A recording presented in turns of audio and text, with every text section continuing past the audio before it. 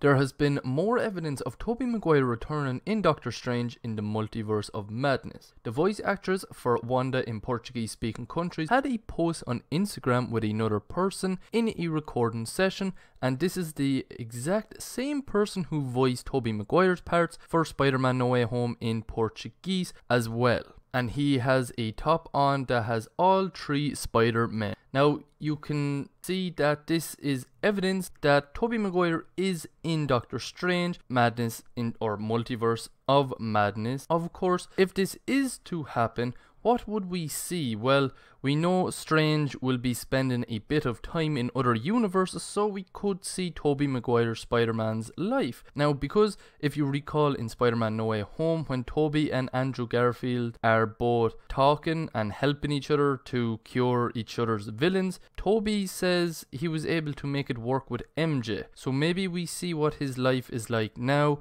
which would be really, really cool to see how he has progressed from where we left left him last in the third Spider Man.